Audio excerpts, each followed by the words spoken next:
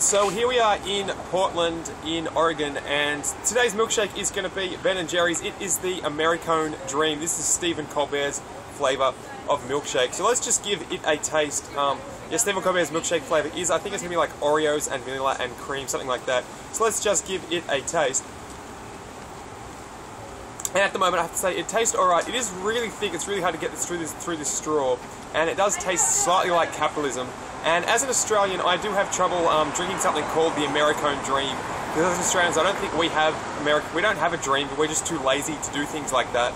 But overall, I'm going to give this a probably a seven out of ten. I mean, for the novelty factor of being Stephen Colbert's ice cream, I had to try it.